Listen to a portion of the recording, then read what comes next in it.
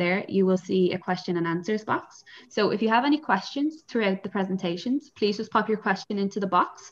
Um, we ask that you do pop it in the questions and answers box and not the chat box because then everyone can see all your personal information. So this is just to retain confidentiality. Uh, you'll also see in the chat box um, a link to the donation page for AsIAm. If anyone wants to donate to AsIAm, we would really appreciate any support you could give us this evening. Uh, also, just a reminder to everyone that this webinar will be recorded and it'll be available on our YouTube page for tomorrow to share with anyone who could not be here tonight. So now I'm just going to pass you over to our first speaker, Maja. So thanks again for joining us tonight, Maja. Thank you so much, Nicola. Mm-hmm. Um, yeah, so my name is Maja. I'm I'm an autistic psychologist from Denmark, and yeah, so I, I was asked to speak about autism and relationships, and the first thing to, to really note is that these are two very big topics um, and they're complex topics. So I won't be able to cover everything in 40, 45 minutes. There's just no way. Um, but I'm going to try my best to just cover the main bases and, and give some general um, information and perspective. Um, not everyone will agree with everything I say tonight. That's okay. Um, so yeah, let's just get started. Um, the first thing that I really want to talk about is the spectrums of sex, gender, gender expression, gender identity, and sexual orientation. Um, and this is because these are all very, very much spectrums. And of course, the first thing that pops into people's minds is well, biological sex, that's binary. We all know that, but it's actually not. Um, we're taught in school that sex is binary, um, male, female, um, but this is not actually true. Um, the details are quite a lot to go into. So this is just to say that it's not, um, even in terms of chromosomes and um, hormones, uh, there's quite a lot of differences. It's possible to have more chromosomes than just XX and XY. It's, for example, possible to have three chromosomal expression. So it's quite a lot. Moving on from that, we have gender, where we've got gender expression and gender identity, which um, we talk about them in terms of um, femininity and masculinity. Um, those are the words we've got right now to talk about that. Um, but the thing is that gender expression and gender identity don't necessarily have to follow along with each other. Um, so you can be a very androgynously expressed person, but identify fully as female or male. Or you can be someone who is expressed in a very masculine way, for example, but you're actually gender fluid. Um, so these are all spectrums where we all sort of move on our own terms. Um, you don't have to know your own gender expression or your own gender identity. You don't have to know how to talk about that or express that at any particular stage in your life. This is something you explore throughout your life and you know you figure out who you are and that's okay um, then there's sexual orientation which is um, it's about who you're attracted to romantically and sexually um, and again, this can just go in every sort of direction, and that's okay too. Um, it's important when we're talking about autism and relationships and sexuality to talk about these things because there is a higher proportion of the autistic population that is not cisgender, um, meaning that they do not identify as the gender they were assigned at birth, um, and who are not heterosexual um, there's just a lot of diversity in the autistic population. So we do need to talk about these things in autism. Um, one site that I find very useful is it's pronounced metrosexual.com. Um, I personally find that site quite good and it's been recommended to me by um, colleagues and other autistic people. So that's one place to go for information. Um, now, when we talk about autism and relationships, we have to talk about emotions and interoception. Um, so, first of all, what is interoception? And I'm just going to go very quickly here because, again, we don't have a lot of time. Interoception is something to do with knowing what is going on in your body, knowing where your body is, how it's feeling, and knowing what's going on inside of you, really. Um, and this can be difficult for autistic people. Um, and I'm going to go a bit more into that in terms of emotions, but know that that this applies actually to a lot of things, not just emotions. But let's get into emotions as well, because gosh, um, so why are emotions so confusing? Well, if you talk about uh, emotions in terms of being on a thermometer um, from, from zero to 10, and uh, zero is neutral, 10 is quite a lot, um, quite extreme, then autistic people tend to be better at identifying and talking about emotions that are at zero to three and eight to 10. Um, and then for some people, it can be very hard to even notice that there's anything in between. And for others, it just feels like it goes really fast. So it may be that you are actually slowly going from three to four to five to six onwards, but you don't notice it until you hit eight. And then suddenly it's like very overwhelming. Um, and for the autistic person, even it can be very confusing. And talking about and getting to know and expressing those emotions in between. Um, it's a journey, and really a lot of it has to do with learning a lot of different words about different forms of emotions, different uh, types of sadness, um, happiness, anger, all these things.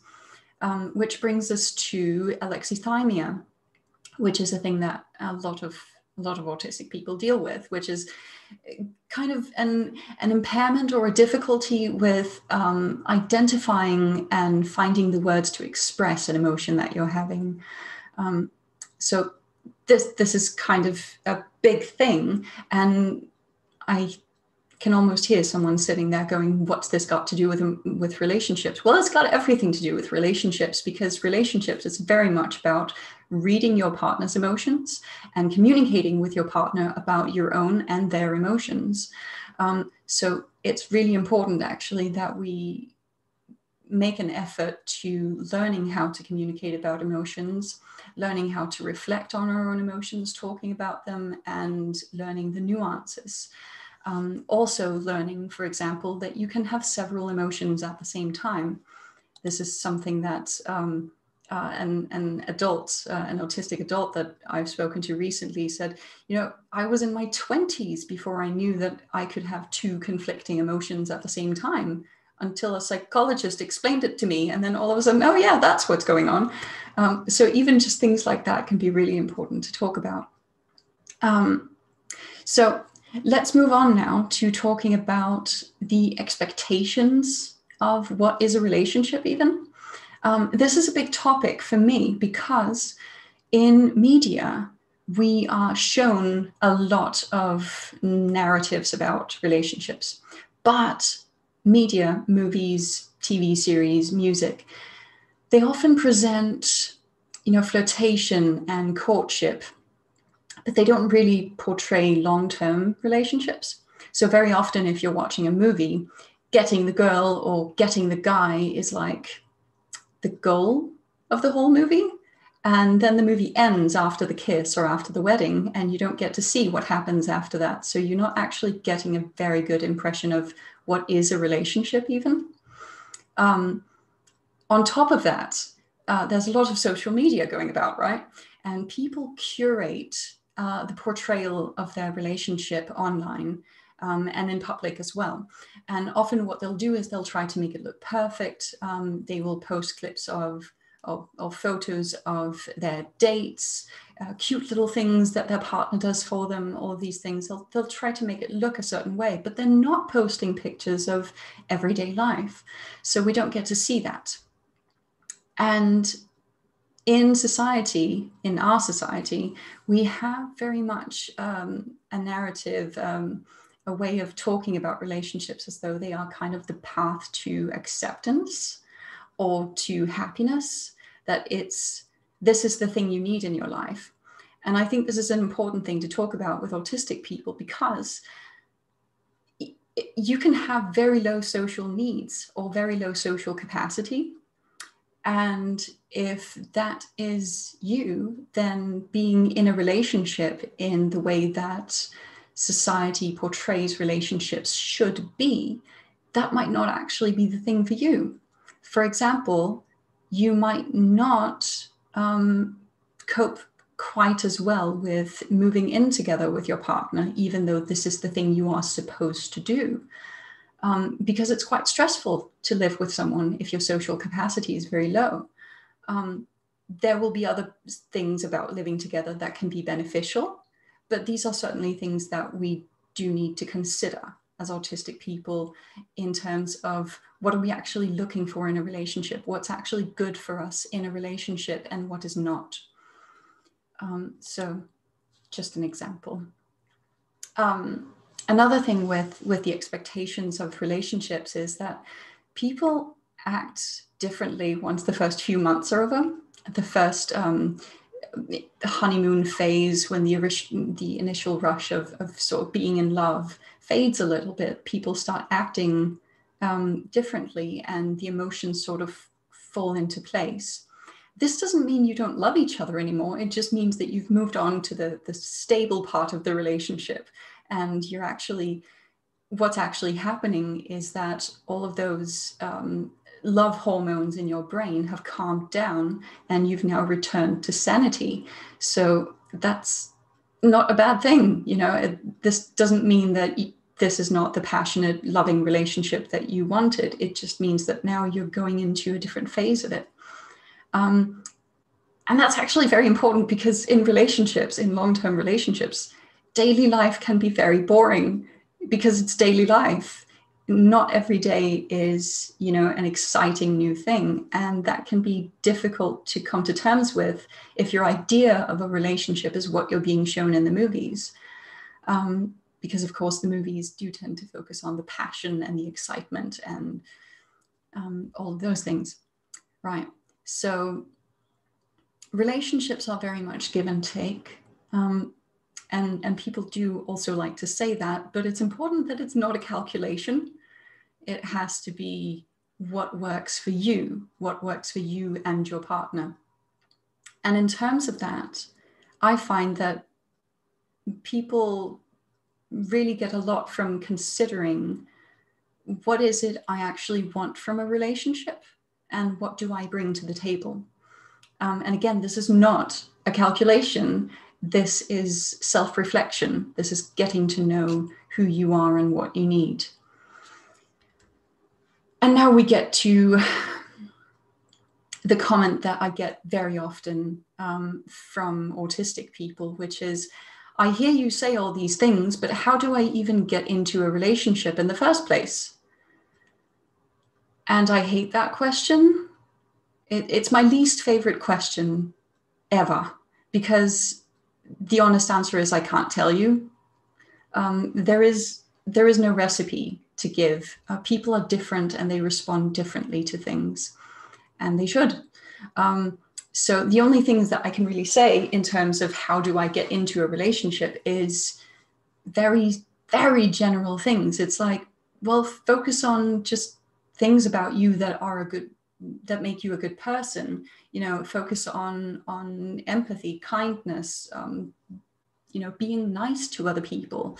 Um, but it's also very much about be you be be the best you but be you um, don't try to become someone else. Don't try to change yourself into someone else's expectations or your perception of someone else's expectations. Um, it, it's really much it's really a lot about you know yes be the best you but do it for yourself. Don't don't do it for someone else and don't do it for a relationship that's not going to be good for you in the long run. Um, in terms of meeting people well great um, meeting people with similar interests will more often lead to friendships and relationships um, and I say friendships and relationships because friendships happen much more often than relationships do. And friendships are great. Um, and there's this narrative in our in our society about the friend zone and how that's a punishment from people. Um, but the friend zone, we could have a long discussion about if that's even a thing, really, but let's just assume it is and talk about it as, as if it is. The friend zone isn't a bad place to be. You've still made a great friend. Um, so, you know, be happy about the friendship that you've got. Um, and gosh, don't become someone's friend or pretend to become someone's friend because you're only looking for a sexual or romantic relationship. That's not a nice thing to do. And when they find out that that's what you've done, they're going to become really, really hurt. Um, you know, it's manipulative. So, you know, be honest about your intentions, um, be honest about what it is you want, and also be open to the fact that friendship is a really, really good thing. Um, the fact is that you can't make someone like you. Um, you they can, of course, start to like you, um, but that's something that happens within them. It's not something you can force to happen. Um, and it's honestly very important to recognize that no matter what you've done for someone, you are never owed intimacy from someone else. And this leads us to talking about consent. And when we talk about consent, I really want to start with a pet peeve of mine, which is teaching consent to children. Um, because very often, when we have to do with children, we forget their bodily autonomy. And we end up, uh, you know, saying to our kids, oh, go hug your aunt goodbye or um, don't you want to hug granddaddy you know all these things. But the thing is when you're making your child hug or kiss a family member and they don't want to you're teaching them that their bodily autonomy does not matter. And that's bad because then they grow up not having that knowledge that their consent and their bodily autonomy matters and that they are allowed to say no and that they should say no when they feel the desire to say no. um, so this is very much a pet peeve of mine.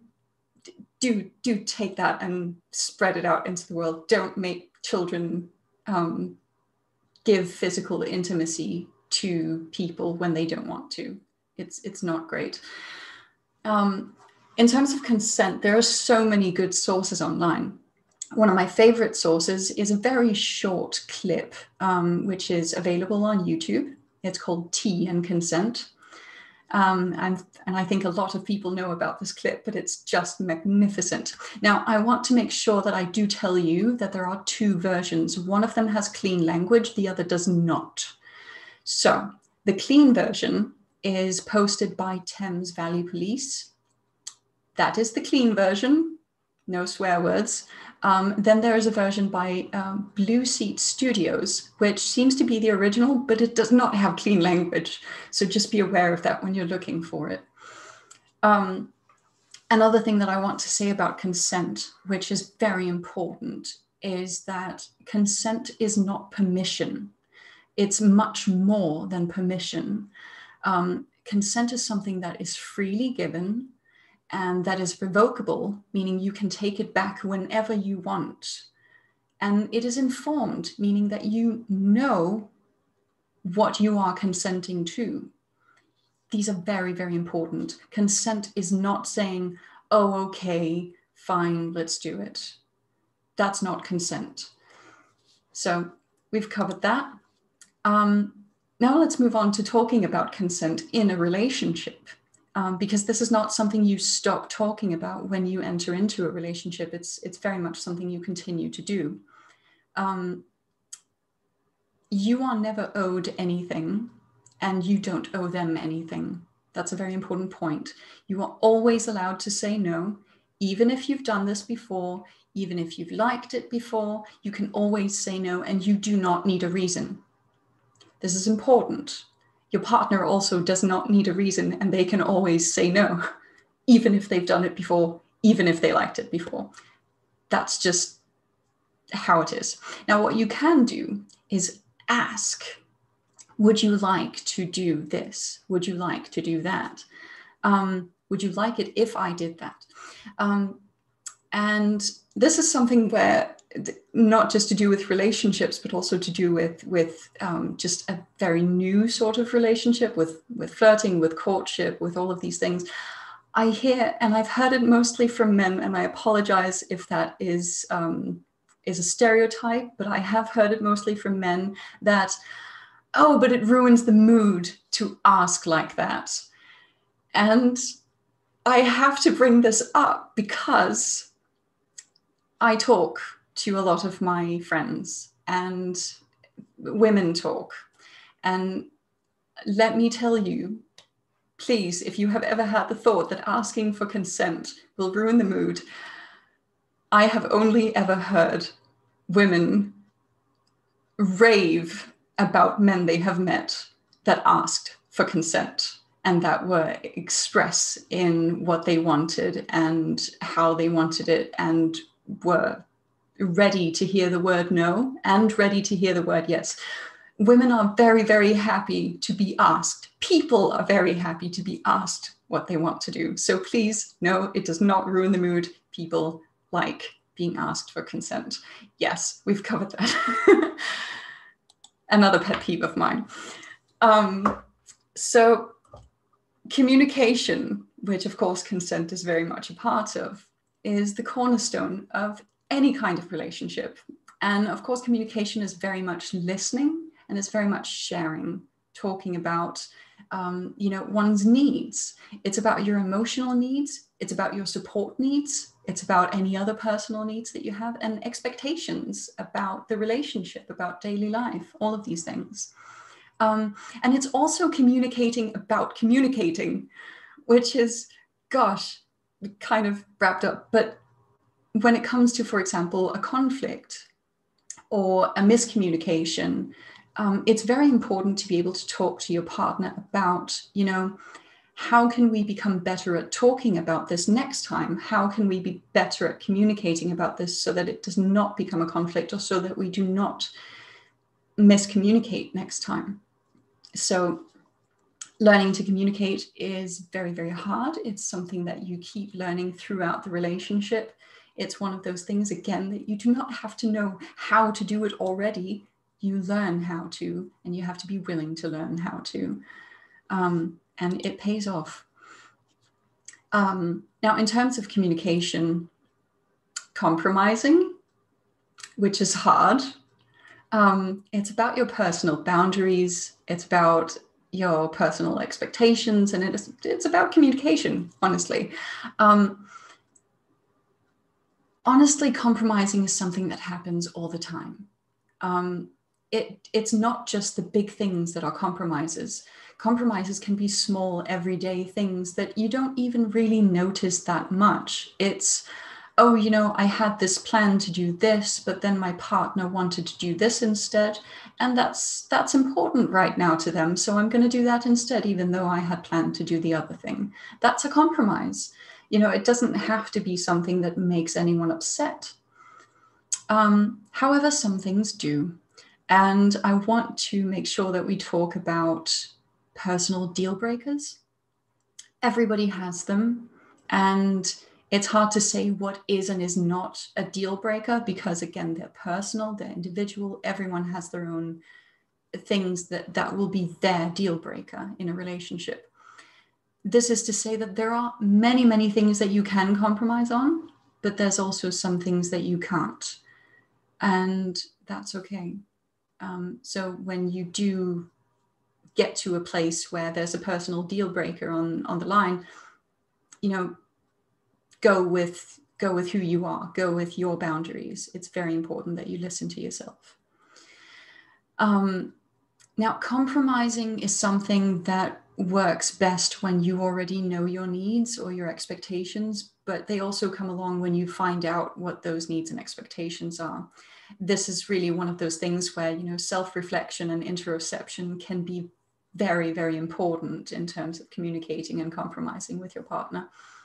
Um, it's also something that really works best when your communication is calm and respectful. Even if you're upset, you know, it's very important to try to regulate those emotions and to talk calmly and respectfully with your partner because that's usually what gets the best results for everyone. So, yeah. Um, and the thing is, once you stop being calm and respectful, that's when it very much stops just being a compromise and becomes a conflict. And conflicts happen in every relationship. It's not something that you can avoid. Um, and it does not mean that you have to break up. um, that's very important because even if you're very very upset even if you think i can't handle this anymore right now. It's just it's just horrible. It's over. I can't i can't do this.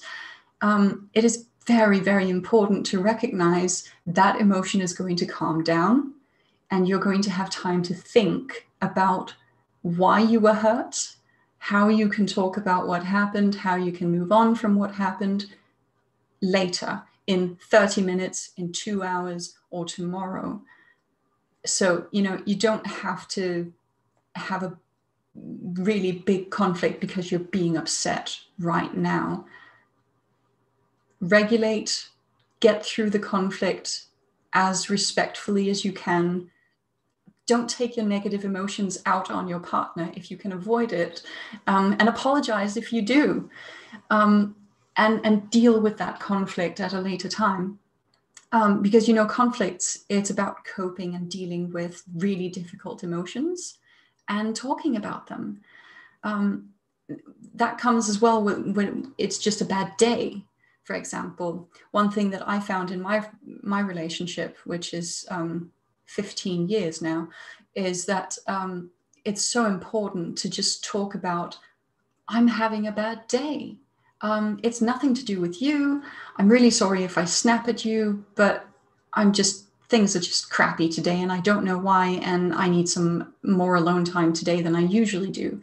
You know, you've communicated right there to your partner this is what's going on. Either, you know, what does it come from? Or I don't know what it comes from, but it's not you. So they know okay, so it's not something I have to do something about. And you've communicated, okay, you need alone time. So what to do about it? Um, you know, communicating communicating those things about what's going on, what do you need? Those are things that that really help in the long run.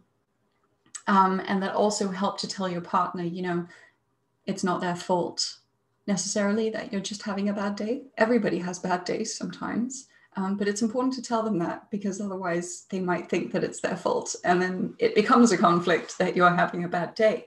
And it doesn't have to be. Um, now, conflicts really arise when expectations are not matched. Um, so, when boundaries are crossed or established, um, when there are surprises or changes that, that trigger sort of personal reactions. Um, so, this can just be something like suddenly um, ex family member has invited us to a birthday party in two days, and that's just not enough time for me to handle this. So now there's a huge conflict, and it actually involves the entire family now because it I didn't have enough time to, to deal with this change in my calendar. Those things can can trigger conflicts and can also trigger some really negative emotions, and that's where you use your partner to actually talk about what's going on, how do we handle it, how do we handle the emotions that are involved, and how do we move on from that. Yeah, communication, communication, communication. um, one really thing, really important thing about conflicts and bad days is that apologizing is not a failure. Apologizing is really, really important and good. And it helps strengthen your relationship when you are able to apologize when you've done something that was not great. Um, another thing uh, is to forgive your partner for not being perfect. Um, you're not perfect either. So, you know, forgive your partner for also being human. Um, but this this goes actually further than you even might think from me just saying that. One thing that that has been really important to me, and that I also hear from other people um, in my life who are in long-term relationships, is how important it is to give your partner props for trying, not just for succeeding. Um, so, for example, when you enter into a relationship as an autistic person, you know, as autistic people, we have meltdowns or shutdowns sometimes. Um, we can't avoid all of them. And even if we try our best, sometimes they happen.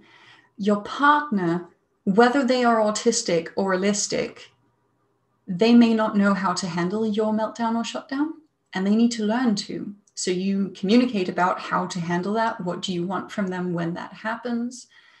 And then it's a learning process for them.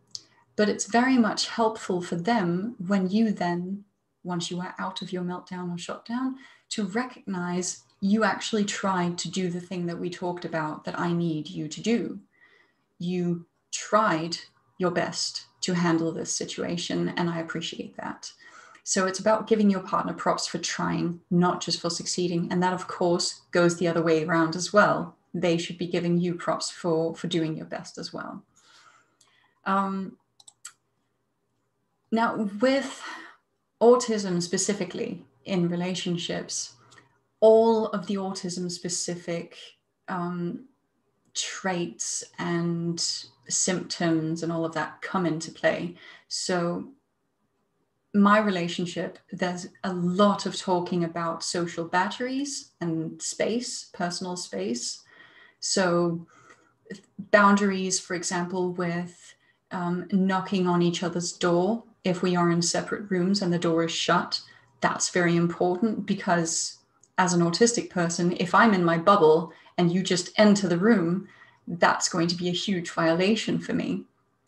Um, that doesn't go for every autistic person, of course, it's just an example, but it's really about communicating about your needs for space and how is your social battery doing? Uh, what do you need? It's about your sensory issues as well, not just communicating about what they are, but how to handle them, uh, what to do when I start to get sensory overload, all of these things, meltdown, shutdowns, etc., etc., etc.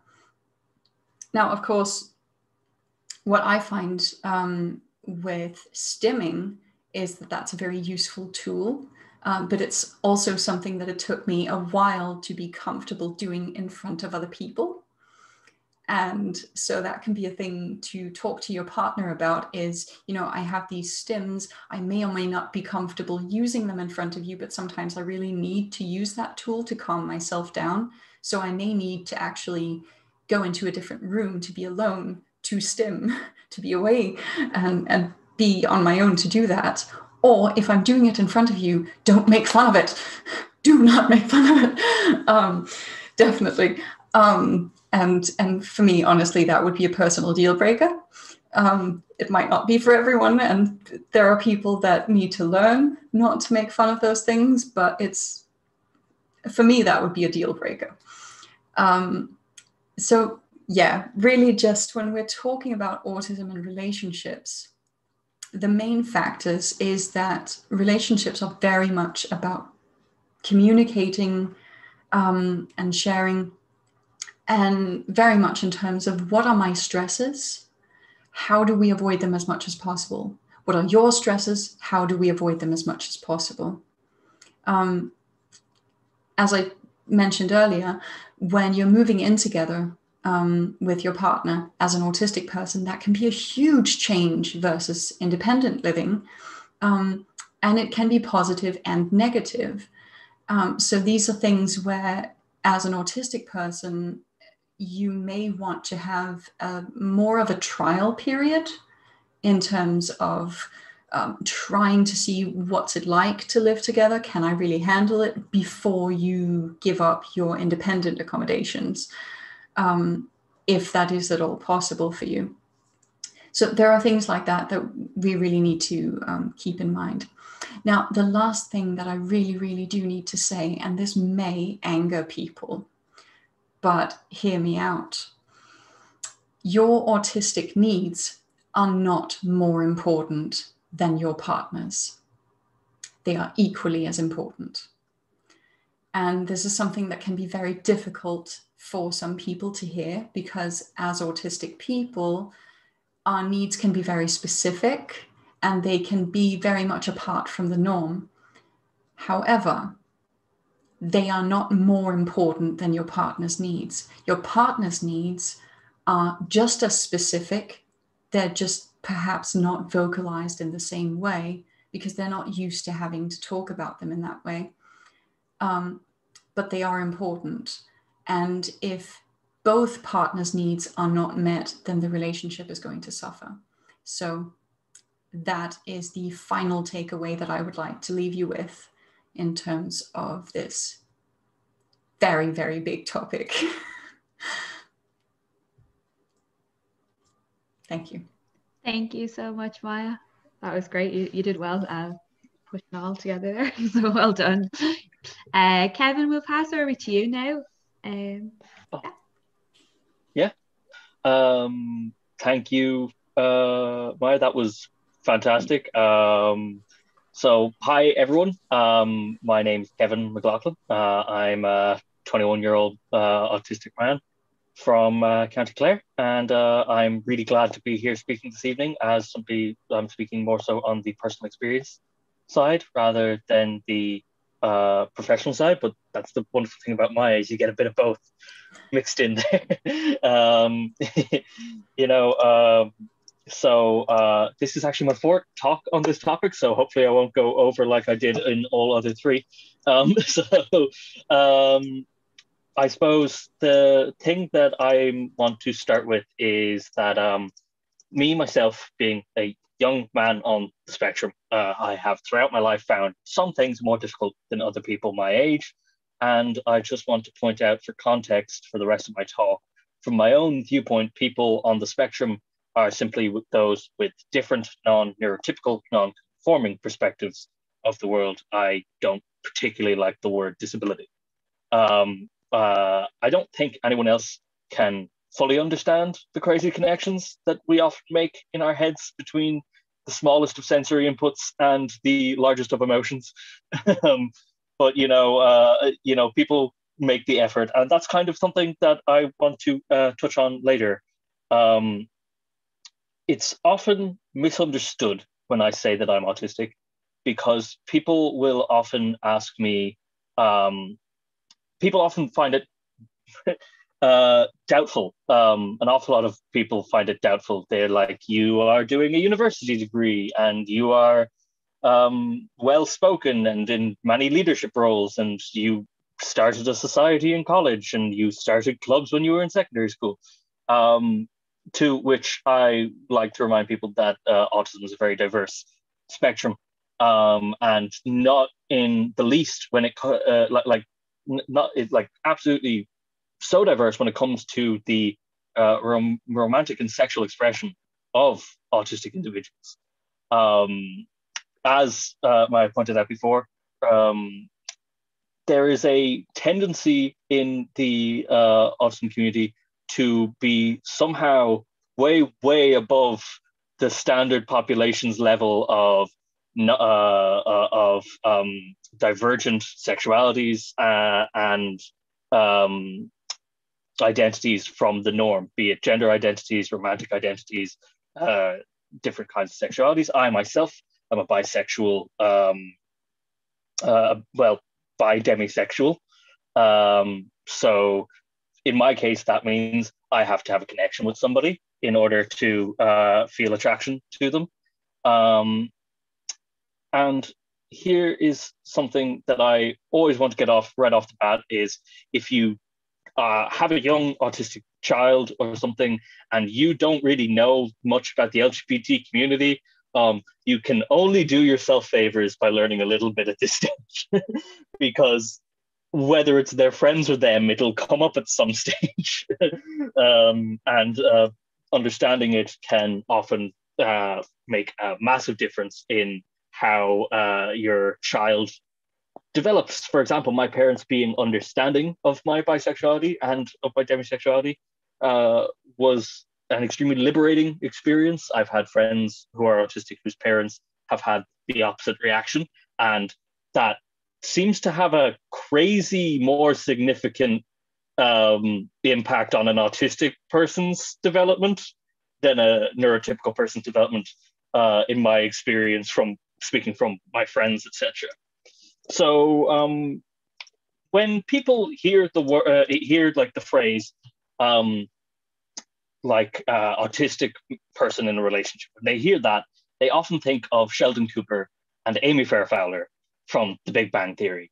If people don't know, that's um, a horrifically stereotyped, badly done, badly written relationship that is supposed to be between uh, an autistic individual and somebody who is presented as maybe, maybe also being autistic, but in a different way, um, which is one of those things that uh, Hollywood has thrown at us as like, look, all of these people can have relationships as well. We're going to make them very awkward and the butt of every joke, but you know uh, they can as well. Um, and I like to point out that that is not how it works. Um, it, it is for some, maybe like like like maybe some people are that exact stereotype portrayal. Maybe there's one or two, perhaps.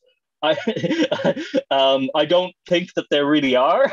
um, but you know, uh, maybe somewhere out there there is the perfect stereotype. Um, but uh, I think what I like to point to people is that uh, I am 21. I have been in significant long-term relationships for the last six years of my life, um, which freaks people out when they find out that I'm autistic and that I have had successful and healthy relationships as an adult. you know, um, so uh, the assumption seems to be that um, people have massively delayed uh, sexual and romantic like development for some reason. Um, that seems to be like the assumption amongst media uh, when it comes to, uh, uh to, to autistic people. But what I have found from me, my friends, anyone I've worked with with autism, um, that can be the case. Some people do have delayed, like like so do some people without autism. Um, you have people like me who maybe have some uh, what I would call advanced. Uh, you know, I started dating when I was 15 years old, like an awful lot of people do. um, y- you know, that's the the that's just like a thing is that it's a spectrum, and because it's a spectrum, all of these other spectrums in life all feed into it. You have like everything, and here's a spoiler everything in life is a spectrum.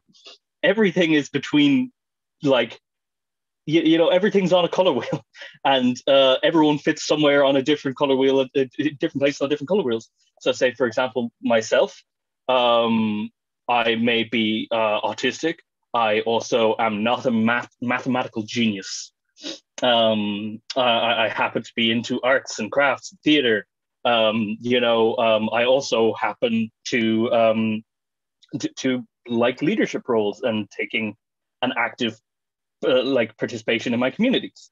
Um, so why is it that we're so embarrassed about talking about the autistic positions on the sexual and attraction spectrums? I actually have three questions, three quick polls um, that I'm going to ask uh, to put up uh, now. Um, please answer as well as you can. Um, uh, I'll give everyone uh, 30 seconds per question, we'll say. Answer as well as you can.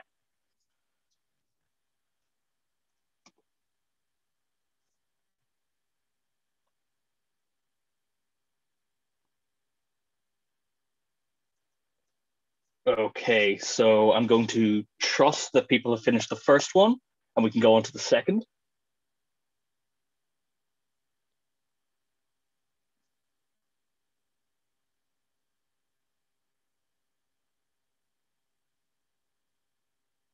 And this is uh, this is more so an exercise for you at home rather than an actual like study or anything. Um, trust me, like the, you're this isn't going to be used in some paper that I'm writing one day, I promise. Uh, it's just going to be for people to illustrate the point that I'm trying to make. Um,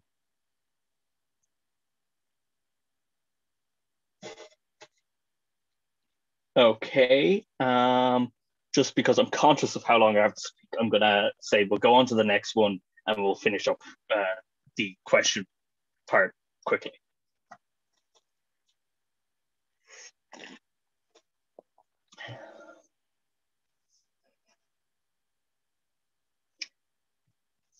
Um,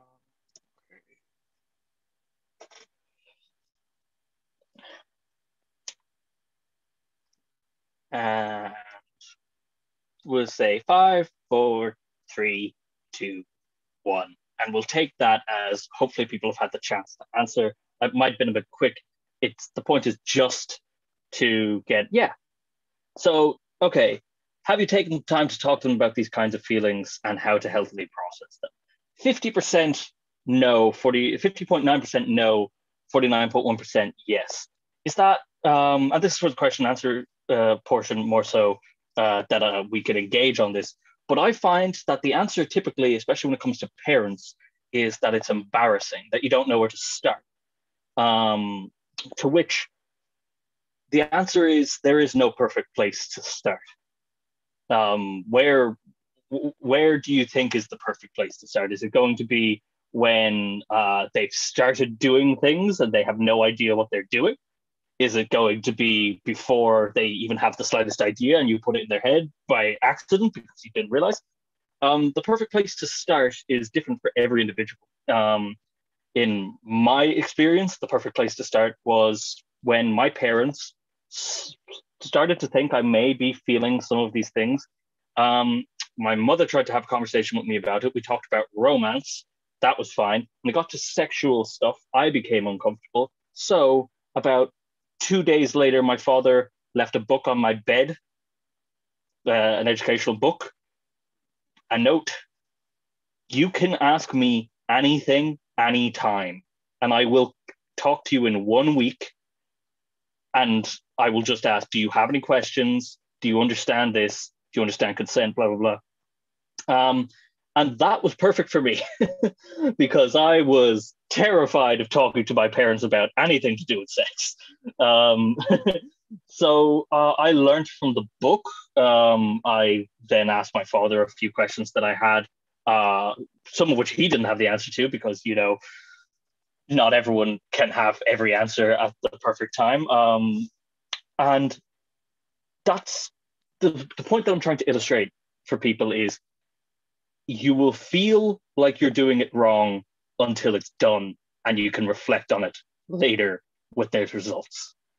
And I say that as somebody who has had to take the role of explaining stuff to some of my peers whose parents were not going to do it for them. um, you know, um, it's not exactly easy to know whether you're doing the right thing in terms of helping someone in their development at a specific time. Like, like, like, like you won't know at first. And I'm sorry to say, I'm sure that, that scares a lot of people. But at the same time, you can ask questions from people like Maja and me who know a lot about the topic and can maybe be helpful. Um, so I'm going to move on to uh, another one of my points that um,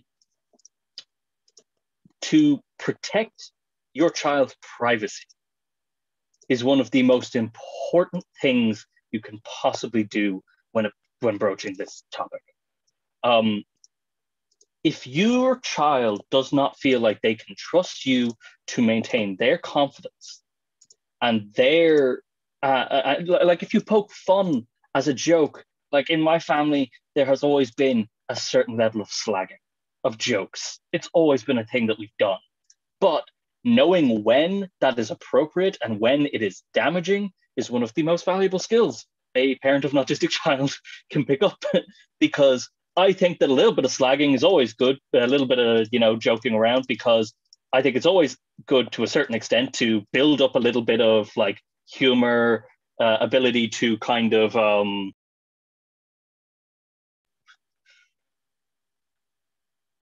what? Ah, what's happened? Uh, ha- hello. Sorry, am I back? I have no idea what happened there. Uh, technical difficulties. You're back. okay. Oh, no idea what happened there. Um, the thing that I was saying, um, yeah, sorry, the thing that I was saying just there was that, um, God, what was I saying? Uh, sorry, that's just broken my flow a little bit. Hmm? Joking about and slagging. Oh yeah, yeah, uh, um, yeah. Thank you. A little bit of joking, a little bit of slagging um, around certain top uh, around topics, especially even even topics like this. It can be good. It can build up a sense of humor. It can prepare your child for what the rest of the world is going to do once they're out the door.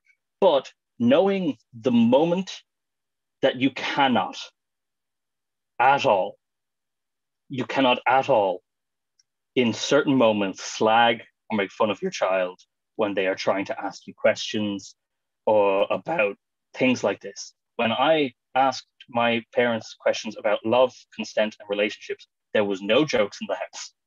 There was serious, genuine answers because that's what's required.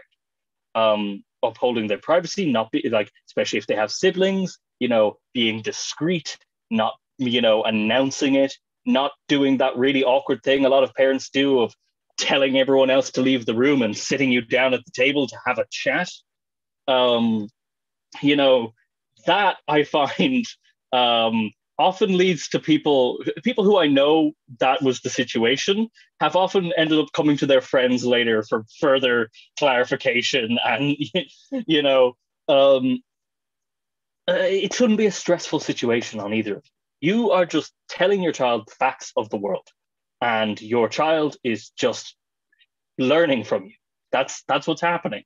Uh, it's the same as when you teach them that the stove is hot, or you know that um uh, that we don't go wandering off uh, in the middle of the night. It's it's it's it's a fact of life that you're educating your child, and having a wide base of knowledge, informing yourself through resources such as these and others uh, is important because you want to have the answers to as many questions as you can because if you do your child will trust more that this is a source of information that i can hold on to um, and that brings me into my third point of your child if you successfully manage to do everything right your child's going to make mistakes they're going to date people that you maybe think aren't the best match.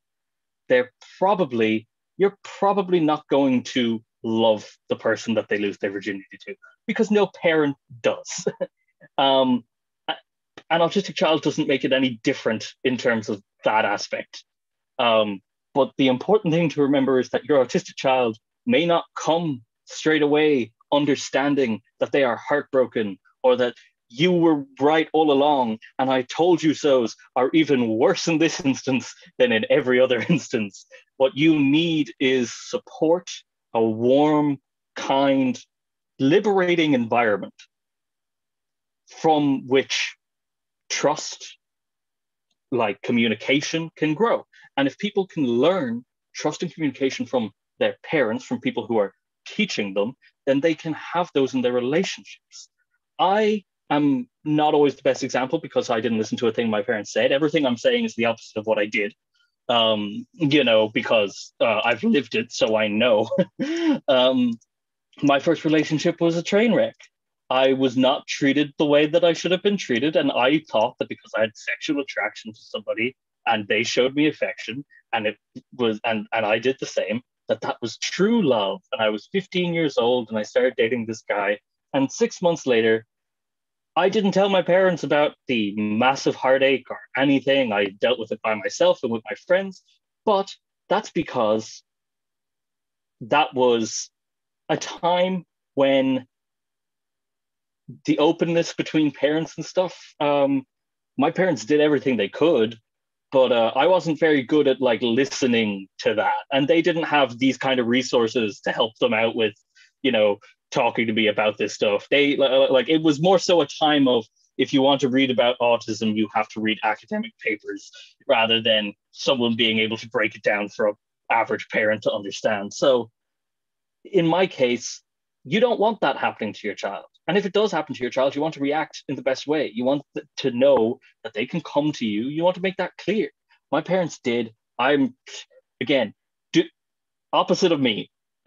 That's what you're going for here, opposite of me. Um, and uh, like I'm very recently now out of a two and a half year long relationship. Last month it ended. Um, not bad at all. Not no arguments, not anything. Um, but that's something I want to get across to show the progression.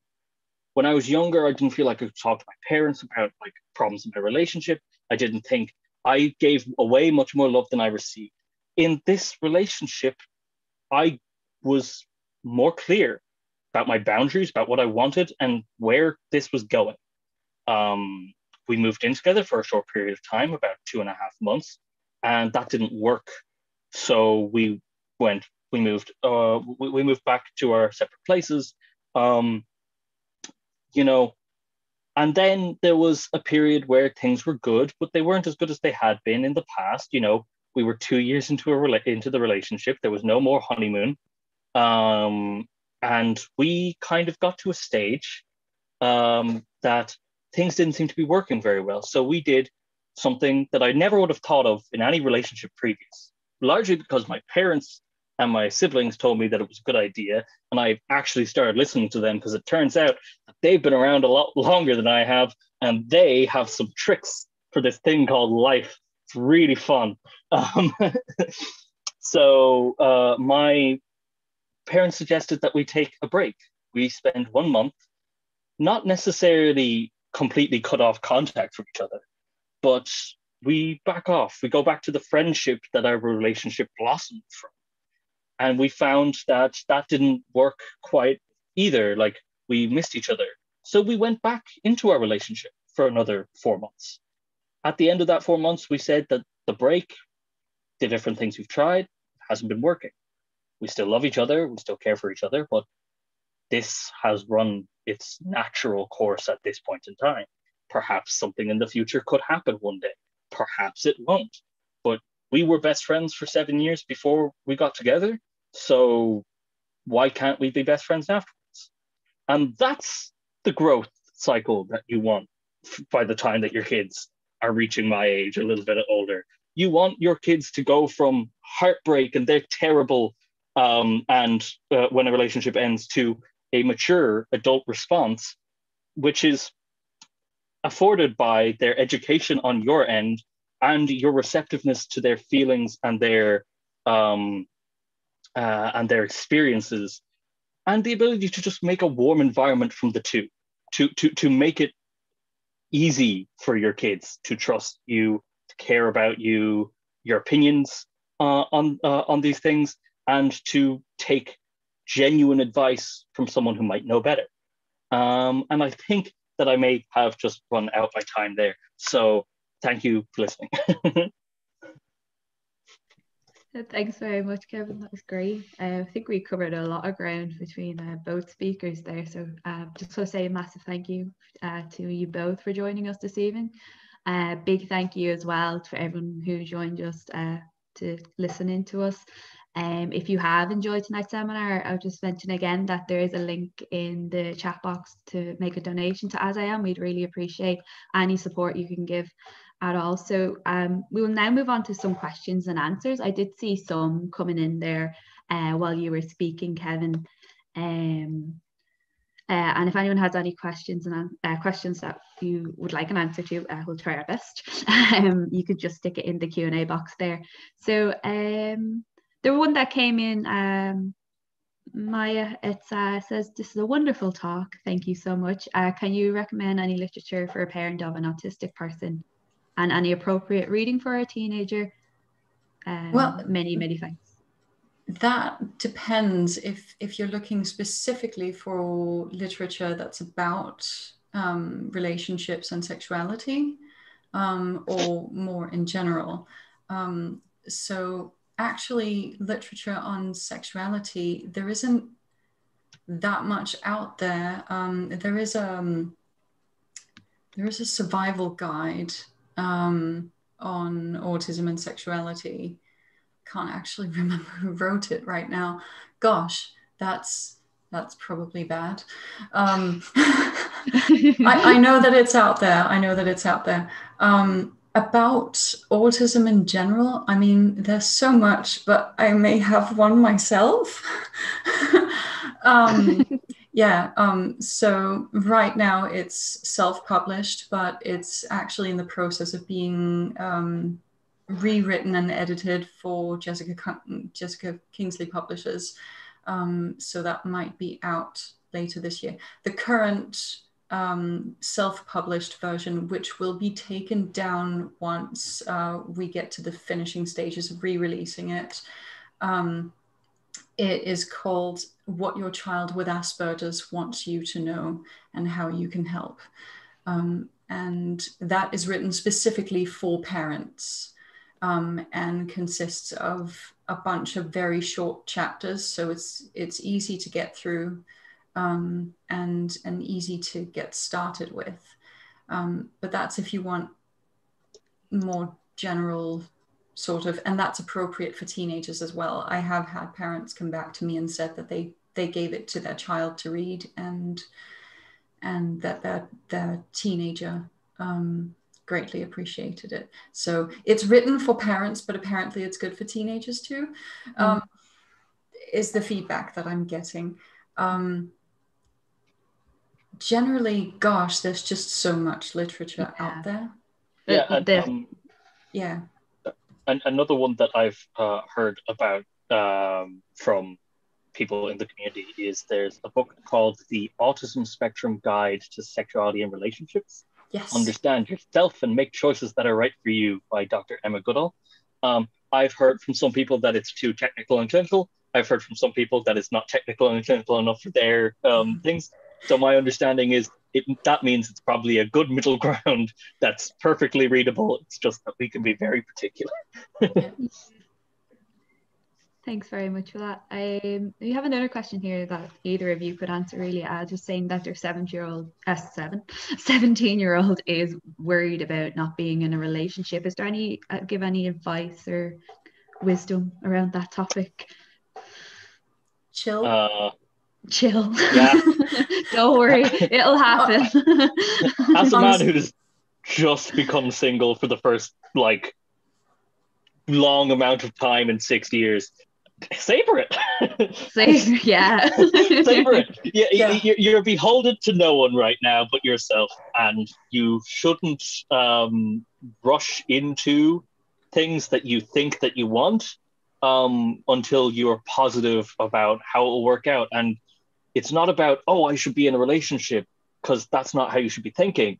What you should be thinking is, oh, I can make new friends, meet new people. Maybe I can meet somebody who's interesting. But it's not the approach of, oh, I'm looking for someone to date. It's, oh, I'm going to expand my social circle and see if there might be more opportunities there. That's my yeah. opinion anyway. Yeah, definitely. I, I agree with that. Um, and, and also just to know that you're 17. Yeah. Relax. you know, life, life does not end when you hit 20 no, I promise you. Trust me. No, I um, promise it doesn't. it doesn't end when you hit 25 either, or 30. Um, Trust know, me. Just, there was a few. Uh, there was a few tense moments on the 14th of October last year, but uh, yes, I can guarantee that you live past 20. you, you do, and you live past 30 too. Um, yeah, I'm. I'm going to be 35 this year, so you know, still alive, still very much kicking. Um, yes. Yeah, just relax, gosh. Um, and also just know that you're going to develop so much as a person um, emotionally, um, your maturity, and also what you're looking for. It's going to mature so much over the next five to 10 years. Let that happen. And as Kevin said, expand your social circle yes go for that um, but looking for a relationship specifically usually ends badly um, mm. that that usually is is not a good way yeah that, that, that, can be depressing the better way to look at it is that you're looking yeah. to be more social in general yeah. and expand your social circle yeah. you might make wonderful friends that you'll have for the rest of your life I know that some of the people that are some of my closest friends are people who I went on dates with in my first year of college. you know, and Yeah. now Yeah. there's absolutely no romantic thing there. They're just wonderful friends. Yeah. Yeah. and and as i as i said in in my talk as well you know don't be depressed about ending up in the friend zone be thankful for making friends that are Mm. great and awesome people um that's that's really what you're and and just to add one thing i get it i i get how desperate the feeling of I need to find a girlfriend or a boyfriend or just a, a romantic partner in general. I that desire makes so much sense and it's it's it's valid that you're Mm. having those feelings Mhm. please try to relax Yes, you're going to be fine exactly. Yeah, it'll happen. um, You're also not alone. It's not your autism. Trust me. I know Mm, plenty of mm. neurotypical 17 year olds that don't Yeah. Oh, yeah. that plenty exactly. um, I hope I don't butcher this word here. It says, uh, "Hello, Maja. You mentioned alorithmia there earlier, and I hadn't heard of it before. When you said ab- what you said about it really resonated with me. Is it just a general symptom of autism, and do you have any advice on how to deal with it? um it's alexithymia Sorry, Ah. alexithymia. Um, I'm terrible yeah so alexithymia is it- it's not something that is everyone on the autistic spectrum deals with this. Um, it's something that many have difficulties with. And in general words that relate to emotions can be difficult. So the way to go about alexithymia is really talk to your child about different nuances of different emotions talk to them about how do they feel in your body? How does it feel to be nervous for example? How does it feel to be sad or angry or happy or all of these things? And how do different nuances of those emotions feel? And can we put words to them that will help expand sort of their ability to identify their own emotions and then talk about them? It's going That to is- take a long time you know just it, it's not going to happen overnight you're not going to Yeah, give them a dictionary and then they get it um, yeah, that is how my parents helped me to get a handle on uh, what emotions feel like of just getting me to talk it out Mhm. slowly over time. Took a few years, but we got there. Yeah, definitely talk to your child Talk, Pip, Um, talk to the person you're concerned about. yeah um, sorry, I'm just trying to pick a question. You guys feel free to go through the Q and A box and pick out any Um, there was- Actually, one at the uh, n- near the bottom that I was. Uh, Yeah. Um. So first of all, um, yes, I was aware I was on spectrum before the topic of puberty, uh, and my parents' suggestion subject sex came up. Um, for a guy, I was diagnosed kind of late, but for the average um, community, I wasn't really. I was diagnosed at eight years old through the private system because we've been on the public system for, God, I think two, two and a half years waiting. So we went through the well, private system. Um, and there was another one uh, just really quickly that I thought I had a um, the, the, uh, Pamela, I think it was. Uh, hey, I'm 20 years old, currently in college, and I was wondering how someone like me can start a relationship during COVID 19. Um, a, my answer to that is don't be in too much of a rush to start a relationship during COVID 19 because that typically means you can't meet the person, and getting into a relationship with somebody that you haven't met before can be problematic and difficult. I've been in that situation. I had a four month long, like long distance relationship with a girl in London. Um, not perfectly ideal. Uh, that fell apart for its own reasons. But um, what I would say is if you genuinely feel like you want to date or whatever, or get to know people during COVID, which I find a lot of people have wanted to, um, a lot of my friends have wanted to, a lot of people are feeling quite lonely. Um, those dating apps may not be your thing, but there are tons of them.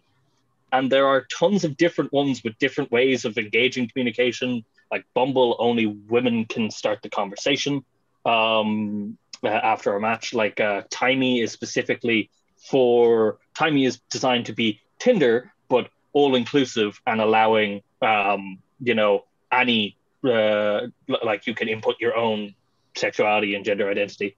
Um, just just just relax, just chat to the people. If they're if you're having a nice time talking to them, maybe you can do a phone call or a watch party or something. That's my advice for that. Mm-hmm. Just just just just socialize with them. Don't be like I need to be in a relationship. yeah.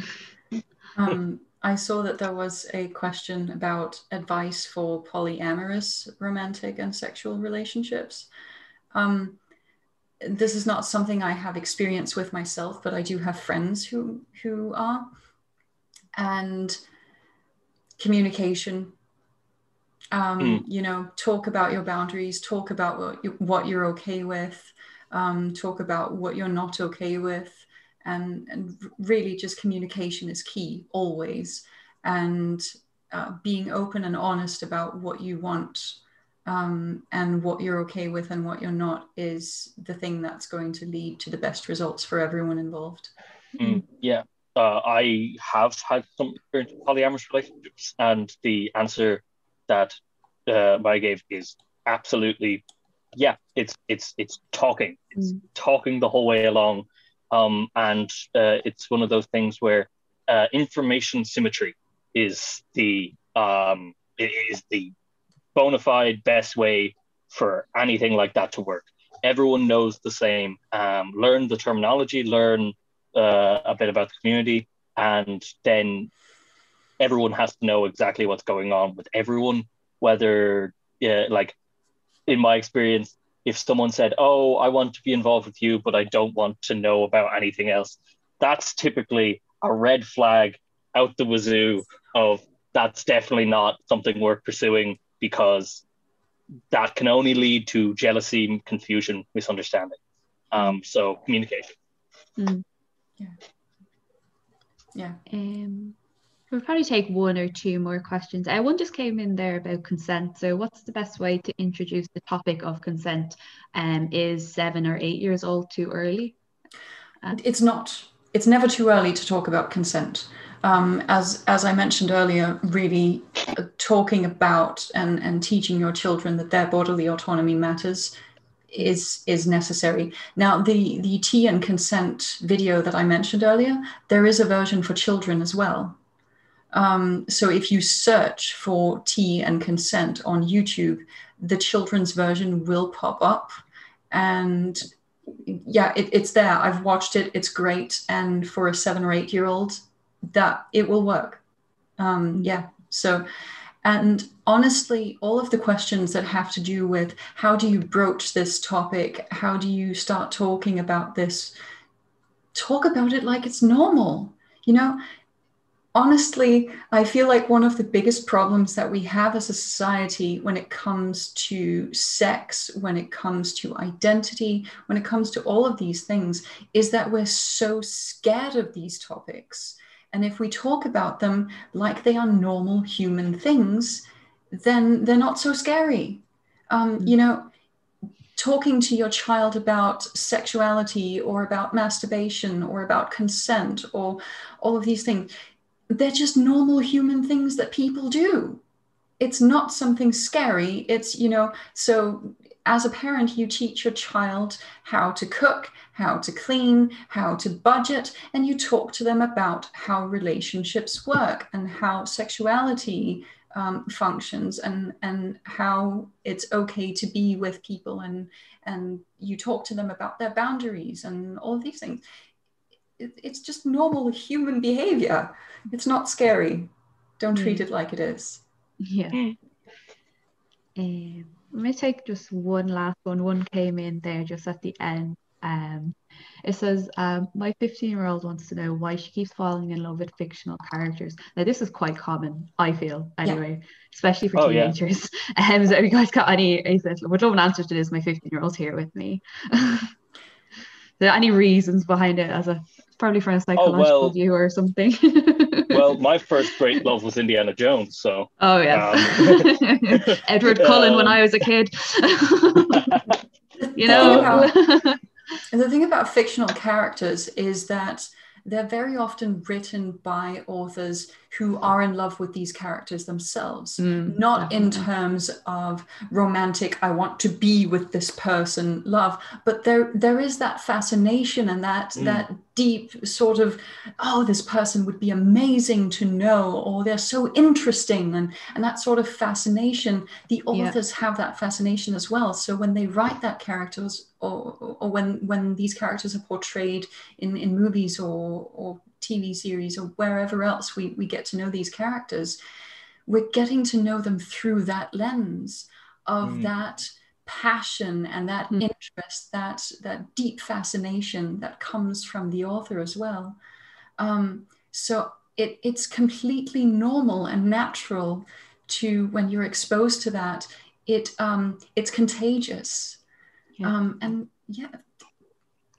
I, lo- I love this so much. I'm I, I'm an English literature student, so um, this should have been your question. I'm sorry. oh no no no it's i agree with everything that you're saying um, another aspect of it that i have actually found and kind of studied um, i'm actually doing a module on love and literature at the moment um, uh, when we see these characters especially from an artistic point of view um, or what is called the general autistic point of view but is actually you know a normal human being's like diverse uh, view. Um, this is actually a uh, characters are two and a half dimensional not three dimensional in Mm. books. Um they everything they do if it's a good character should relate to a logical consequence of the story the plot etc even their emotional reactions are logical consequences of what's going on and those are quite often their responses are the things that we preempt as a reader um, while we are reading, which is fascinating because that means that you are preempting the response a character might have. You feel like you have come to know this character on a personal, deep level because you have you have their inner monologue in front of you. Yeah. It's it's written out in black and white.